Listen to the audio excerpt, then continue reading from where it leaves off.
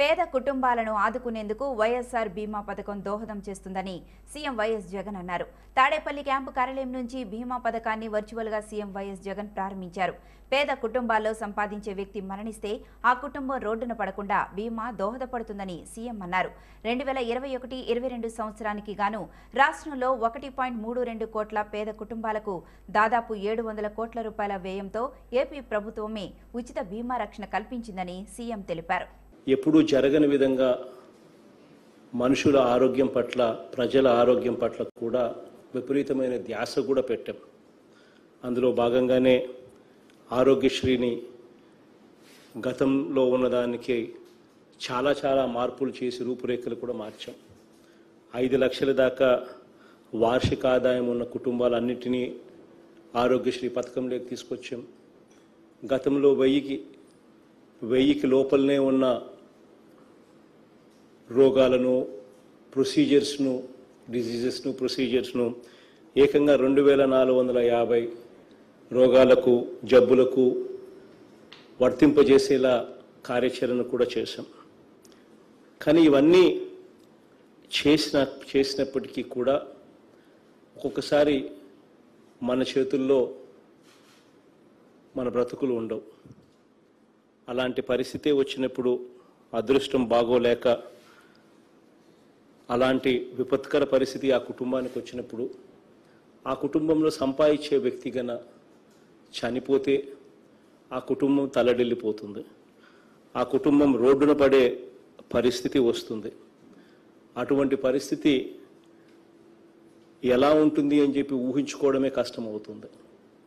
నా పాదయాత్రలో చాలా సందర్భాలలో కూడా అటువంటి గాథలు అటువంటి కథలు చాలా చూశాను చాలా విన్నాను కూడా. అవన్నీ కూడా మార్పులు చేసేదానికి దిశగా మేనిఫెస్టోలో కూడా దీనికి సంబంధించి అధికారంలోకి వచ్చిన వెంటనే ఈ రకంగా చేస్తామని కూడా చెప్పడం జరిగింది. అధికారంలోకి వచ్చిన వెంటనే ఆ రకంగా చేసుకుంటూ కూడా పోయాము అని చెప్పి కూడా సగర్వంగా ఈ సందర్భంగా కూడా తెలియజేస్తా ఉన్నాను. నిజంగా కూలీ పనులు చేసుకుంటున్న వారు కానివ్వండి లేదా ఈఎస్ఐ పిఎఫ్ వంటివి లేకుండా అసంఘటిత రంగంలో ప్రైవేట్ ఉద్యోగంలో ఉద్యోగాలు చేసుకుంటూ బ్రతుకు బండిని ఈడ్చుకుంటున్న వాళ్ళు కానివ్వండి దాదాపుగా ఇటువంటి కుటుంబాలన్నీ కూడా దాదాపుగా కోటి ముప్పై లక్షల కుటుంబాలు అప్రాక్సిమేట్గా మన రాష్ట్రంలో ఈ వైఎస్ఆర్ బీమా పరిధిలోకి రావడం జరుగుతుంది. కుటుంబంలో ఇంటి కుటుంబానికి సంపా సంపాదించే వ్యక్తి ఎవరైతే ఉంటారో కుటుంబ పెద్దగా ఎవరైతే ఉంటారో ప్రతి కుటుంబానికి ఆ పెద్దను ఆ కుటుంబంలో సంపాదించే వ్యక్తిని ఈ ఇన్సూరెన్స్ కవర్లోకి తీసుకొని రావడం జరుగుతూ ఉంది. ఈరోజు ఇలాంటి కుటుంబాలన్నిటికీ కూడా ఆర్థికంగా బీమా కల్పించేందుకు ఈ వైఎస్ఆర్ బీమా పథకం అమలు చేస్తూ ఉన్నాం. పేద కుటుంబం మీద ఏ ఒక్క రూపాయి కూడా భారం పడకుండా పూర్తి వ్యయాన్ని మన ప్రభుత్వమే పూర్తిగా భరించే కార్యక్రమం కూడా చేస్తూ ఉంది. విజయవాడ నగరాన్ని సుందరంగా కాలుష్యరహితంగా తీర్చిదిద్దేందుకు అన్ని చర్యలు తీసుకుంటున్నామని రాష్ట్ర పురపాలక శాఖ మంత్రి బొత్స సత్యనారాయణ తెలిపారు. రాబోయే రోజుల్లో విజయవాడను మరింత అభివృద్ధి పదంలోకి తీసుకువెళ్తామని ఆయన స్పష్టం చేశారు. ఎనిమిది పాయింట్ తొమ్మిది కోట్లతో ఆధునీకరించిన చెన్నుపాటి రామకోటయ్య మున్సిపల్ స్టేడియాన్ని మంత్రి బొత్స ప్రారంభించారు. పటమట హైస్కూల్ రోడ్లోని చెన్నుపాటి రామకోటయ్య మున్సిపల్ స్టేడియాన్ని పురపాలక శాఖ మంత్రి బొత్స సత్యనారాయణ మంత్రి వెల్లంపల్లి శ్రీనివాస్తో కలిసి ప్రారంభించారు. అనంతరం వారు మాట్లాడుతూ ఎనిమిది పాయింట్ తొమ్మిది ఒక్క కోట్లతో అంతర్జాతీయ స్థాయిలో ఈ స్టేడియాన్ని అభివృద్ధి చేశామన్నారు. నగరంలో ఉన్న అందరికీ ఈ స్టేడియంలో సభ్యత్వం కల్పిస్తున్నామని వారు వివరించారు. ఆటల్లో ఉత్సాహం ఉన్నవారు ఈ అవకాశం సద్వినియోగం చేసుకోవాలని వారు సూచించారు. విజయవాడ నగరాన్ని మరింత సుందరంగా కాలుష్యరహితంగా మార్చడానికి చర్యలు తీసుకుంటున్నామని వారు తెలిపారు. జగన్మోహన్ రెడ్డి అధికారంలోకి వచ్చాక ఆరు వందల కోట్ల రూపాయలను విజయవాడ అభివృద్ధికి కేటాయించినట్లు వెల్లడించారు. చంద్రబాబు హయాంలో విజయవాడలో ఒక్క అభివృద్ధి కార్యక్రమం కూడా చేయలేదని విమర్శించారు. అమరావతి పేరుతో నగరాభివృద్ధిని గాలి కుదిలేశారని వారు దుయ్యబట్టారు. రానున్న రోజుల్లో నగరంలో మరిన్ని ప్రజా సంక్షేమ అభివృద్ధి కార్యక్రమాలు చేపడతామని స్పష్టం చేశారు. ఈ కార్యక్రమంలో తూర్పు నియోజకవర్గం ఇన్ఛార్జ్ దేవినేని అవినాష్ నగర మేయర్ భాగ్యలక్ష్మి ఇతర అధికారులు పాల్గొన్నారు. పూర్వమున్న చెన్నిపాటి రామకోటయ్య ఇండోర్ స్టేడియంని సుమారు ఎనిమిది కోట్ల తొంభై ఒక లక్ష రూపాయలతో అంటే తొమ్మిది తొమ్మిది కోట్ల రూపాయలతో రెనోవేట్ చేసి ఈరోజు ఇది అందుబాటులో తీసుకొచ్చాము ఇది. దీంట్లో అన్ని సౌకర్యాలతో ఇండోర్ స్టేడియం ఇది. అటు షటిల్ కానీ లేదు జిమ్ కానీ లేదు కావాల్సిన అన్నిటినీ కూడా అన్ని ఏర్పాటు చేసి ఇంటర్నేషనల్ స్టాండర్డ్స్తో వచ్చి దీన్ని ఏర్పాటు చేయడం జరిగింది. దీన్ని సద్వినియోగం చేసుకోవాలని అందరినీ కోరుతున్నాను. అయితే మున్సిపల్ అధికారులు కూడా మేయర్ గారిని కూడా నా సజెషన్ ఏంటంటే దీనికి ఒక కమిటీని కాన్స్టిట్యూట్ చేస్తారు. చేయాలని కోరుతున్నాను. మరి మొన్న ఎన్నికలు జరిగినాయి. విజయపట్నంలో మరి మా ముఖ్యమంత్రి గారి ఆలోచనతో మరి మా పార్టీ వైఎస్ఆర్సీ పార్టీని మొత్తం కార్పొరేట్లను అత్యధిక శాతం కార్పొరేట్లు గెలిపించి మరి మా మెయిన్ మా డిప్యూటీ మేయర్ని మా కార్పొరేట్లు అందరినీ కూడా గెలిపించిన గెలిపించి విజయం కూడా మాకు ఇచ్చారు. మా బాధ్యత ఇది. ప్రభుత్వం బాధ్యత. ఆ బాధ్యతలో భాగంగానే మరి ఈ కార్యక్రమం ఇంతకు ముందు కంటే మిన్నగా కూడా మరి వీరందరూ కూడా పాల్గొని చేయాలని తపంతో ఈ కార్యక్రమం చేస్తున్నాం. త్వరలో ఇంకా మంచి అభివృద్ధి కార్యక్రమాలు చేయడానికి కార్యాచరణ కూడా మరి తలపెట్టాము. అవన్నిటిని కూడా రేపు కౌన్సిల్లో డిస్కషన్ అయిన తర్వాత అవన్నీ చెప్తాము. విజయ విజయ- విజయవాడ పట్టణం ఓ సుందర నగరంగా ఉండాలి. ఇండోర్ స్టేడియాన్ని అద్భుతంగా కూడా అభివృద్ధి చేయడం జరిగింది. గతంలో చంద్రబాబు నాయుడు ఇక్కడ ముఖ్యమంత్రిగా చేస్తున్నాడు. ఇక్కడ ఎమ్మెల్యేగా తెలుగుదేశం పార్టీ ఎమ్మెల్యేగా ఉన్నారు. ఏ రోజైనా విజయవాడ నగరాన్ని అభివృద్ధి చేయాలని చెప్పిన కనీసం ఆలోచన కూడా చేయలేని వ్యక్తులు వీళ్ళందరూ కూడా.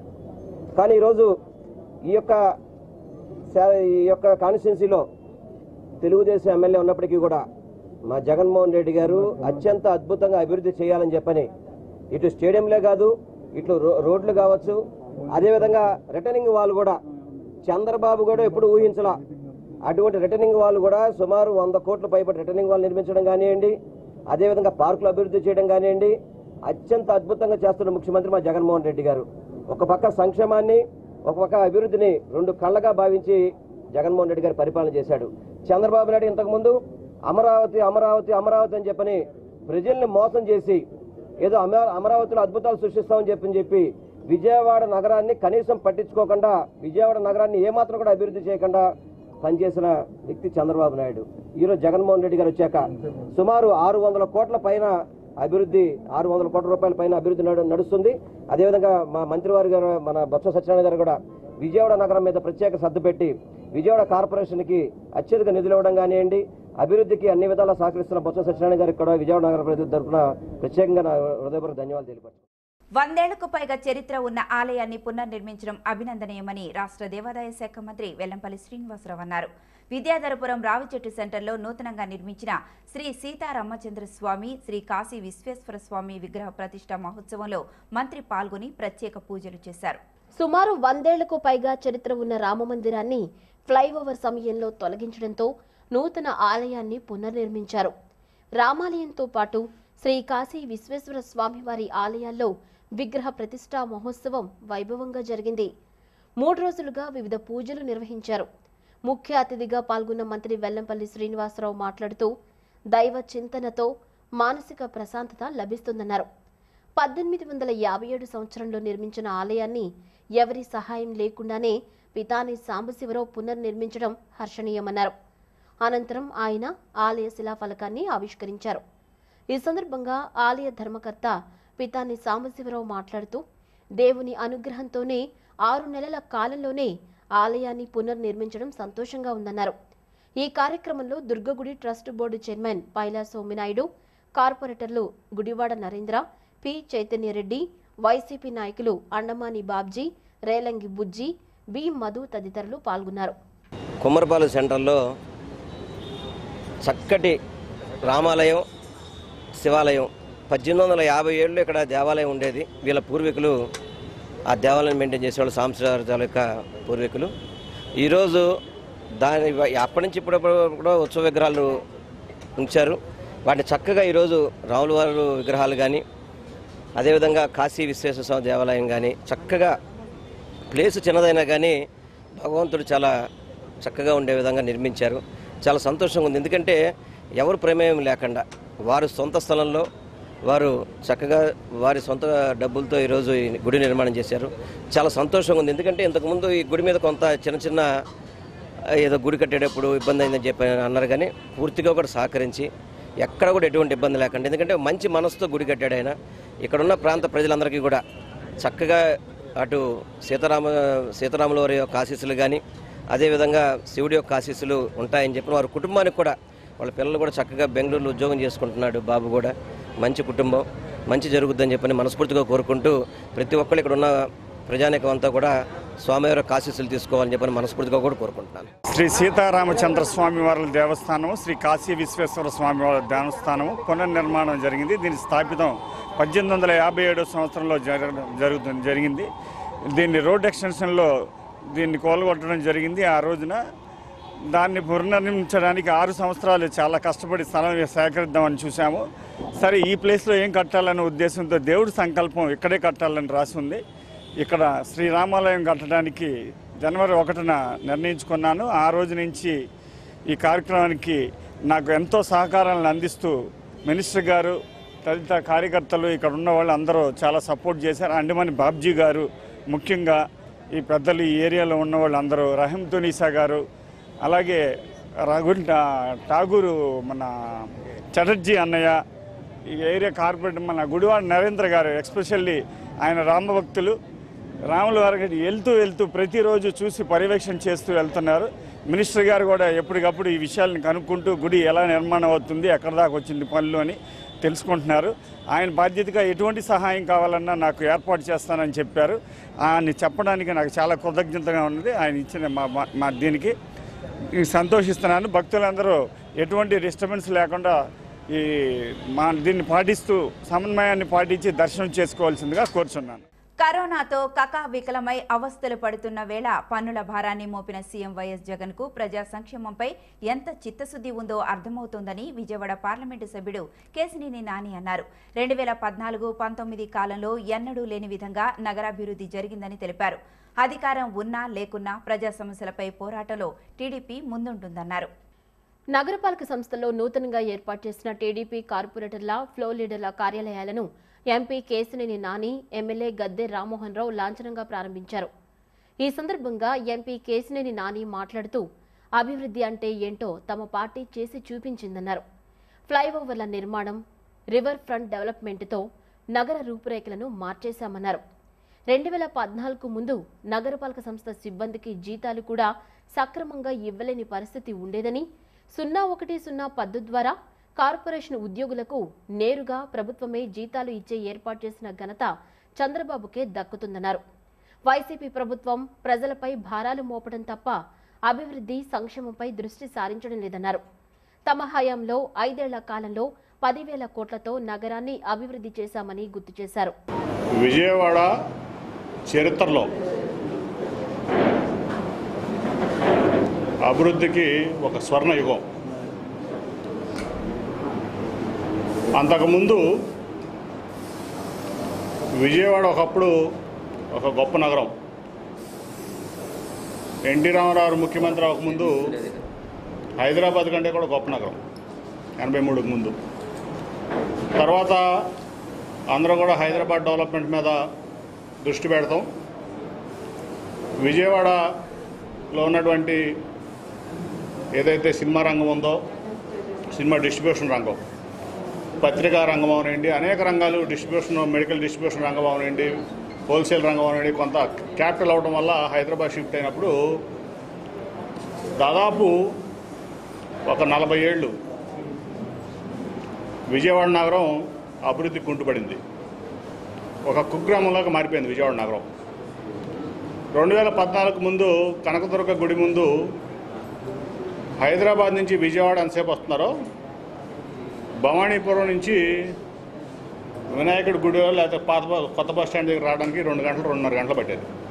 హైదరాబాద్ నుంచి భవానీపురం వచ్చే సమయం ఎంతో?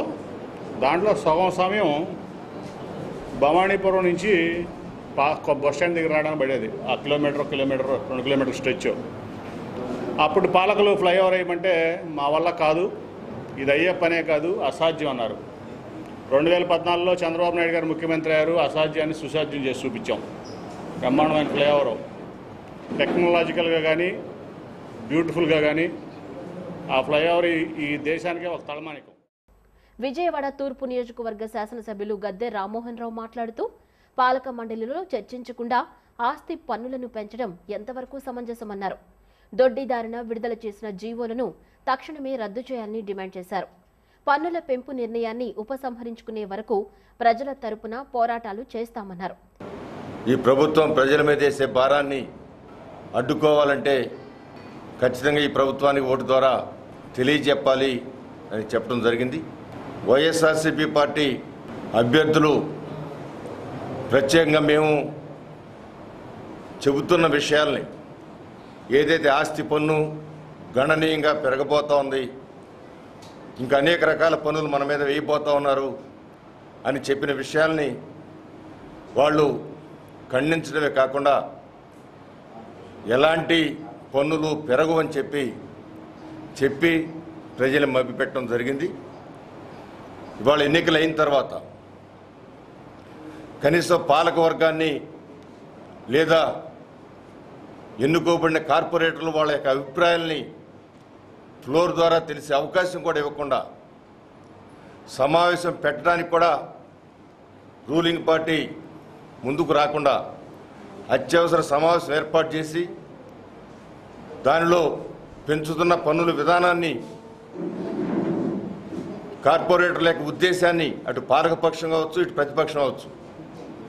వాళ్ళు ప్రజల్లో ఏదైతే మాట ఇచ్చారో అడ్డుకుంటామని చెప్పి ఆ మాటని తప్పిన విధానాన్ని ప్రజలు తెలుసుకునే విధంగా ఒక సమావేశం ఏర్పాటు చేయాలని చెప్పి చెప్పినా కూడా అత్యవసర సమావేశానికి ఏమాత్రం ముందుకు రాని పాలకవర్గం ఈరోజు ప్రజల మీద ఆస్తి పన్ను మన ఆస్తి విలువను ఆధారంగా చేసుకుని పన్ను పెంచే విధానం తాత్కాలికంగా పదిహేను శాతం మాత్రమే పెరుగుతుందని చెప్తూ దాన్ని అంచెలంచెలుగా ప్రతి ఆరు నెలలకు కూడా పెంచే విధంగా వాళ్ళు దొడ్డిదారిన ప్రజల మీద భారం వేయడానికి corporation TDP floor leader Nellibandla Balaswamy మాట్లాడుతూ ఇంటి పన్నులపై తక్షణమే కౌన్సిల్ నిర్వహించాలని ఇప్పటికే రెండుసార్లు మేయర్కు వినతి పత్రాలు ఇచ్చామని అయినా స్పందన లేదన్నారు. కార్యక్రమంలో టీడీపీ డిప్యూటీ ఫ్లో లీడర్ ఉమ్మడి వెంకటేశ్వరరావు పార్టీ కార్పొరేటర్లు నాయకులు కార్యకర్తలు పాల్గొన్నారు. నగరపాలక సంస్థలో మా ప్రో లీడర్స్ అలా కార్పొరేటర్ ఆఫీసు ఓపెన్ చేయడానికి ఇచ్చేసిన మా నాయకులకి కార్పొరేషన్లో మేమందరం కూడా కార్పొరేటర్లు అందరం కూడా ఈ రాష్ట్ర ప్రభుత్వం వైసీపీ రాష్ట్ర ప్రభుత్వం చేసే అవినీతి అన్యాయాల మీద అక్రమాల మీద ప్రజల మీద మోయలేని మోపుతున్న భారాల మీద పన్ను భారాల మీద వీన్ని వీటన్నిటి మీద కూడా మేమందరం ఉద్యమించి కౌన్సిల్లో తెలుగుదేశం పార్టీ యొక్క వాయిస్ గళాన్ని గట్టిగా వినిపిస్తామని చెప్పి ఈ సందర్భంగా మా నాయకులకి మేము తెలియజేసుకుంటూ ఈ రాష్ట్ర ప్రభుత్వం మోయలేని పెనుభారాన్ని మోపింది. సుమారుగా విజయవాడ నగర ప్రజల మీద ఐదు వందల కోట్ల రూపాయల అధిక భారాన్ని మోపారు. తాడేపల్లి ప్యాలెస్ దాటరాని ముఖ్యమంత్రి. మరి తప్పులను కూడా తప్పులు చెప్తూ ఏం చెప్తున్నాడో తెలియకుండా తనను తను సమర్థించుకుంటూ అవివేకంగా మాట్లాడే మున్సిపల్ శాఖ మంత్రి విజయవాడ నగర ప్రజల యొక్క అభివృద్ధిని సంక్షేమాన్ని పక్కన పెట్టి అవినీతికి పీట వేసి ప్రజలు ప్రజల యొక్క కష్టాన్ని గుర్తించకుండా పనిచేస్తున్న విజయవాడ నగర అభివృద్ధిని మర్చిపోయిన విజయవాడ వైసీపీ నాయకులు వీళ్ళందరూ కూడా ఇంత దుర్మార్గంగా ఉన్నటువంటి పరిస్థితుల్లో ప్రజలందరూ కూడా ఈ కరోనా కష్టకాలం అల్లాడిపోతున్నారు తినడానికి తినలేక. అదే చంద్రబాబు నాయుడు గారి పరిపాలన అయితే కేజీ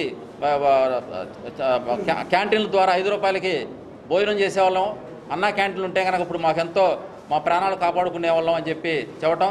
అలాగే వేల మంది చనిపోయారు విజయవాడ నగరంలో. మరి చంద్రన్న బీమా అయితే కనుక చంద్రబాబు గారి ప్రభుత్వం అయితే చంద్రన్న బీమా ఐదు నుంచి పది లక్షలు వచ్చేది. అవి రాకుండా ఈ ప్రభుత్వం ఈ దుర్మార్గంగా ప్రజల జీవితాలతో ఆడుకుంటుందని చెప్పి రాష్ట్ర వ్యాప్తంగా విజయవాడ వ్యాప్తంగా కూడా ప్రజలందరూ కూడా చాలా బాధపడుతున్నారు. ఇరు రాష్ట్రాల జల వివాదం రాజకీయ లబ్ధి కోసమేనని సిపిఐ రాష్ట్ర కార్యదర్శి కె రామకృష్ణ ఆరోపించారు. ఎన్నికలప్పుడు దోస్తు కట్టే సీఎంలు జల వివాదాలప్పుడు మౌనం వహించడం రాజకీయ డ్రామాలేనంటూ విమర్శించారు. ప్రజా సమస్యల పరిష్కారానికి చిత్తశుద్ధితో కృషి చేయాలని ముఖ్యమంత్రులను కోరారు. పోలవరం ముంపు ప్రాంతాలను పరిశీలించని అధికార పార్టీ ప్రజాప్రతినిధుల పర్యటన వల్ల ఒరిగేదేమీ లేదని వ్యాఖ్యానించారు. సిపిఐ రాష్ట్ర కార్యదర్శి రామకృష్ణ విజయవాడలో మీడియాతో మాట్లాడారు. కేంద్ర ఆర్థిక మంత్రి ప్రకటించిన ఆరు పాయింట్ రెండు ఎనిమిది లక్షల ఆర్థిక ప్యాకేజీ వల్ల నిరుపేదలకు చేకూరే లబ్ధి శూన్యమన్నారు. జాతీయ విపత్తు కింద కరోనా మృతుల కుటుంబాలకు పది లక్షల రూపాయల నష్టపరిహారం చెల్లించాలని డిమాండ్ చేశారు. నూతన జాబ్ క్యాలెండర్ను విడుదల చేసే వరకు విద్యార్థి యువజన సంఘాలకు మద్దతుగా నిలుస్తామని స్పష్టం చేశారు. సజ్జల నేతృత్వంలో పోలవరం ప్రాజెక్టును సందర్శించిన ఆ పార్టీ నేతలు పోలవరం ముంపు గ్రామాలను పరిశీలించకపోవటం దారుణమని వాపోయారు. ముంపుకు గురైన గిరిజనులకు నష్టపరిహారం చెల్లించాలని వారికి భూములు కేటాయించాలని కోరారు. ఇక ఉభయ తెలుగు రాష్ట్రాల మధ్య చోటు చేసుకున్న జల వివాదం రెచ్చగొట్టే ప్రకటనలు చూస్తుంటే రెండు రాష్ట్రాల ముఖ్యమంత్రులు రాజకీయ లబ్ధి కోసం చేసే తతంగమని తేటతెల్లమవుతుందని ఆరోపించారు. ఇవాళ దేశవ్యాప్తంగా ఈ కరోనా మహమ్మారితో అనేక రకాలుగా సంపద కోల్పోయి తర్వాత ఉద్యోగాలు ఉపాధి కోల్పోయి తీవ్రంగా ఇబ్బందులు పడుతున్న ప్రజానీకానికి ఇవాళ కేంద్ర ప్రభుత్వం ఆదుకోవడానికని దాదాపు ఆరు లక్షల ఇరవై ఎనిమిది వేల కోట్ల రూపాయల ప్యాకేజీ ఆర్థిక మంత్రి నిర్మలా సీతారామన్ గారు ప్రకటించారు. దాదాపు పదహైదు రంగాలకు సంబంధించి వివిధ డిపార్ట్మెంట్లు ఉండేవారికి వారందరూ కూడా ఆదుకుంటామని చెప్పి చాలా స్పష్టంగా ఆమె ప్రకటించారు. కానీ ఈ ఆరు లక్షల ఇరవై ఎనిమిది వేల కోట్ల రూపాయల నిధులు ఎక్కడి నుంచి తెస్తారో అది మాత్రం చెప్పలే. మరి బడ్జెట్ కేటాయింపులువే దీనికి సర్దుబాటు చేస్తారా? లేదంటే వేరే ఏమైనా నిధులు దానికి సమకూరుస్తారా? అది స్పష్టంగా చెప్పలే. పైగా ఎవరైతే పేద వర్గాల వారు ఉన్నారో ఉద్యోగాలు కోల్పోయారో ఉపాధి కోల్పోయారో వారికి నేరుగా నగదు బదిలీ పంపిణీ చేయకుండా వారి అకౌంట్స్కి బద జమ చేయకుండా మీరు ఏ రకంగా వారిని ఆదుకుంటారో దానికి స్పష్టత లేదు. పైగా ఈ ప్రభుత్వం వ్యవహార శైలి ఎట్లుందంటే సరఫరా పెంచితే చాలు ఆ సరఫరా పెంచితే అందరూ బాగుపడతారనే పద్ధతిలో ఆలోచిస్తామని సరైనది కాదు. ముఖ్యంగా ఇవాళ వినిమయదారులు ఎవరైతే ఉన్నారో ఆ వినిమయదారులు తీవ్రమైన ఇబ్బందుల్లో ఉన్నారు. కాబట్టి ఏమంటే వినిమయదారునికి నువ్వు నేరుగా ఇంతంతో వారి ఆర్థిక పరిపుష్టిని చేసి వారి యొక్క కొనుగోలు శక్తి పెంచడం ద్వారా మాత్రమే ఇవాళ సమస్య పరిష్కారం అవుతుంది తప్ప మేము ఊరికే సరఫరా పెంచడానికి మేము చేస్తామంటే దానివల్ల ఉపయోగం. రాష్ట్ర విభజన సందర్భంగా ఆనాడు పార్లమెంటులో భాజపా అగ్రనేతలు నవ్యాంధ్రప్రదేశ్కి పది సంవత్సరాలు ప్రత్యేక హోదా ఇస్తామని రానున్న ప్రభుత్వం తమదేనని మీరు ఐదేళ్ళు అంటున్నారు. మీకు చేత కాకపోతే మా ప్రభుత్వం వచ్చినాక పది సంవత్సరాలు ప్రత్యేక హోదా ఇస్తానని చెప్పి నేటి ఉపరాష్ట్రపతి ఇతర బీజేపీ నాయకులందరూ కూడా రాజ్యసభలో లోక్సభలో మాట్లాడారు. ఇవాళ ఏడు సంవత్సరాల అనంతరం కూడా ఈ ప్రత్యేక హోదా విభజన హామీలకి సంబంధించి కేంద్రం ఇది అయిపోయిన ఎజెండా ముగిసిపోయిన అంశం అంటున్నారు. రాష్ట్రంలో ఆనాడు చంద్రబాబు గారు ప్రత్యేక హోదా కోసం నేనే సాధిస్తానని ప్యాకేజీ ఇస్తే దానికి సంతోషపడి ఆ తర్వాత మళ్ళా హోదా కావాలని ఆయన పొజిషన్ మార్చుకుంటూ వస్తే జగన్మోహన్ రెడ్డి గారు ఇరవై ఐదు పార్లమెంటు సీట్లు ఇవ్వండి. నేను కాలర్ పట్టుకొని ప్రత్యేక హోదా తెస్తానని చెప్పిన పెద్ద మనిషి మొన్న ఢిల్లీ వెళ్ళొచ్చి మనకి ఇంకా హోప్స్ లేవు. మనం అడుగుతూ ఉండడం తప్ప పోరాడగలిగిన పరిస్థితి లేదని ఒక కుట్రపూరితమైన ఉద్దేశపూర్వకమైన ఈ అంశం మీద నీళ్ళు చల్లే ప్రయత్నం వైఎస్ఆర్ కాంగ్రెస్ ప్రభుత్వం అధికారంలోకి వచ్చాక కులమత పార్టీలకు అతీతంగా అర్హులైన వారందరికీ సొంతింటి కలను సాకారం చేసిన ఘనత ముఖ్యమంత్రి జగన్మోహన్ రెడ్డిదేనని పెనమలూరు శాసనసభ్యుడు కొలుసు పార్థసారథి వైసీపీ తూర్పు నియోజకవర్గ ఇన్ఛార్జ్ దేవినేని అవినాష్ అన్నారు. ఏకంగా కాలనీల పేరుతో గ్రామాలనే నిర్మిస్తున్న జగన్ కీర్తి చిరస్థాయిగా నిలిచిపోతుందని ప్రశంసించారు. పేదవారి పట్ల తమ ప్రభుత్వ చిత్తశుద్ధికి ఇదే నిదర్శనమని వారు వివరించారు. వణుకూరు జాయింట్ కలెక్టర్ మాధవీలత ఆధ్వర్యంలో వణుకూరులో ఇళ్ళ స్థలాలు పొందిన తూర్పు నియోజకవర్గ లబ్ధిదారులతో కలిసి అవినాష్ పక్కా గృహాల నిర్మాణాలకు శంకుస్థాపన చేశారు. ఈ సందర్భంగా వారు మాట్లాడుతూ ఈ రెండేళ్ళ కాలంలో నియోజకవర్గంలో దాదాపు ముప్పై వేల మందికి ఇళ్ళ పట్టాలు అందజేయడం జరిగిందని గత పాలకుల మాదిరిగా కాకుండా అన్ని వసతులు కల్పించాలనే లక్ష్యంతో లేఅవుట్ల వద్ద మౌలిక సదుపాయాలు కల్పించి ఇళ్ళ నిర్మాణ పనులకు శంకుస్థాపన చేస్తున్నట్లు తెలిపారు. టీడీపీ హయాంలో ఇళ్ళ కోసం డబ్బులు వసూలు చేసి కూడా అర్హులైన వారికి ఇవ్వకుండా కేవలం వారి పార్టీ కార్యకర్తలకు ఇచ్చుకున్నారని ఊరికి దూరంగా కనీస సదుపాయాలు కూడా లేకుండా నిర్మించారని విమర్శించారు. వైఎస్ఆర్సీపీ ప్రభుత్వంలో ఎవరి దగ్గర ఒక్క రూపాయి కూడా తీసుకోకుండా లబ్ధిదారులు కోరినట్లు ఇళ్ళు నిర్మించి ఇస్తున్నామని తెలిపారు. ఈ కార్యక్రమంలో mayor Rayana Bhagyalakshmi deputy mayor Bellam Durga అధికారులు పాల్గొన్నారు. గుర్తించుకోదగ్గ రోజు అని చెప్పేసి నేను భావిస్తాను. ఎందుకంటే ప్రపంచంలో ఎక్కడా కూడా పదిహేను లక్షల గృహాలకి ఒకటే రోజు శంకుస్థాపన జరిగిన దాఖలాలు ఎక్కడా లేవు. నిజంగా ప్రత్యేకంగా విజయవాడ మున్సిపల్ కార్పొరేషన్లో పేదలు ఎవరు కూడా నేను కూడా మినిస్టర్గా ఉన్నాను నేను అప్పుడు కేవలం ఒక పదివేల ఇల్లు కోసం ఎన్నో సంవత్సరాల సంవత్సరాలు కష్టపడి వారి అవి లభించక ఇబ్బంది పడుతున్న పరిస్థితులు ఉండేవి. కానీ ఈరోజు జగన్మోహన్ రెడ్డి గారి నాయకత్వంలో అర్హత ఉన్న వాళ్ళందరికీ కూడా ఇళ్ళ స్థలాలు ఇవ్వాలని చెప్పేసి ఆలోచన చేసి ఈ కార్యక్రమం తీసుకుంటాం అనేది నిజంగా జగన్మోహన్ రెడ్డి గారికి ఈరోజు రోజు రాష్ట్రంలో లక్షలాది మంది చేతులెత్తి నమస్కరిస్తూ ఉన్నారు. ఆయన ఒక దేవుడిగా కొలుస్తున్నారంటే కారణం ఇదే అని చెప్పేసి మనం చేస్తూ ఉన్నాను ఈరోజు వణుకూరులో నూట యాభై ఎకరాలు అంటే దాదాపు ఆరు ఆరు వేల మందికి ఆరు ఏడు వేల మందికి ఏడు వేల ఎనిమిది వేల మందికి విజయవాడ మున్సిపల్ కార్పొరేషన్ సంబంధించిన వాళ్ళకి ఇక్కడ ఇళ్ళ స్థలాలు కేటాయించడం జరిగింది నూట యాభై ఎకరాల్లో. మరి త్వరలో ప్రభుత్వం అన్ని రకాల కూడా వారికి సహకరిస్తూ మరి ఇక్కడ రాబోయే రోజు రాబోయే ఒక సంవత్సర కాలంలో మంచి ముఖ్యమంత్రి గారి ఆలోచన కూడా ఏంటంటే ఏదో స్లమ్స్ తయారు చేసి స్థలాలు ఇచ్చేసాం కదా మా బాధ్యత అయిపోయిందని చెప్పేసి ఆయన ఆలోచన చేస్తలా? జగన్మోహన్ రెడ్డి గారు ఏ మాట అయితే ఆయన ఇస్తారో చేసి చూపిస్తామని చెప్పిన విధంగా ఈ దేశంలో ఏ ముఖ్యమంత్రి గారా సాధ్యం కాని విధంగా ఈరోజు ప్రతి ఒక్కరి గారా లబ్ధిదారు ప్రతి ఒక్కరి గారా ఇళ్ళ స్థలాలు కేటాయిస్తమే కాకుండా ఈరోజు శంకుస్థాపన కార్యక్రమం ద్వారా మా ఇంట్లో ఏ విధంగా అయితే కార్యక్రమం జరుగుతుందో అలాగే మేము ఏది ఏ విధంగా అయితే వెళ్ళి కలుసుకుని అందరినీ ఇది చేస్తామో అదే విధంగా ఈరోజు జగన్మోహన్ రెడ్డి గారు ప్రతి ఒక్క వైఎస్ఆర్సీపీ పార్టీ నాయకులను గారా ఈరోజు లబ్ధిదారుల దగ్గరికి వెళ్ళి వాళ్ళ శంకుస్థాపన కార్యక్రమంలో పాల్పంచుకొని మాకు చెప్పటం ఈరోజు లబ్ధిదారు ప్రతి ఒక్కరి గారు ఎంతో ఆనందంగా. ఈరోజు వణుకూరు గ్రామంలో పెనంలూరు నియోజకవర్గంలో ముఖ్యంగా విఎంసీ పరిధిలో నూట యాభై ఎకరాలు సమకూర్చి ఖరీదైన స్థలాలు ఇవన్నీ గర? ఈ ఇంత ఖరీదైన స్థలాలు గర? ఈరోజు ప్రజానీకానికి జగన్మోహన్ రెడ్డి గారి నాయకత్వంలో మేము ఇళ్ళ స్థలాలు ఇళ్ళ పట్టాలు అన్నారు అందించాం. ఈరోజు శంకుస్థాపన కార్యక్రమం మేము చేస్తున్నాం చేస్తున్నారు చెప్తున్నాం. ఈరోజు దాదాపుగా ప్రతి ఒక్కరికి కులాలకి మతాలకి సంబంధం లేకుండా.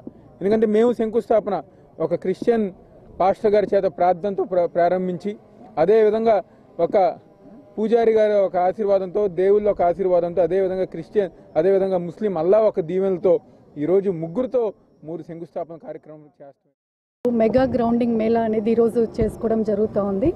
ఇందులో భాగంగా మీకు అందరికీ తెలుసు గత ఒకటిన్నర సంవత్సరం నుంచి బెనిఫిషరీస్ని ఐడెంటిఫై చేసి మన జిల్లాలో మూడు లక్షల ముప్పై వేల పట్టాలు మనము ప్రతి నిరుపేద ఇల్లు లేని కుటుంబాలకి మనం ఇవ్వడం జరిగింది.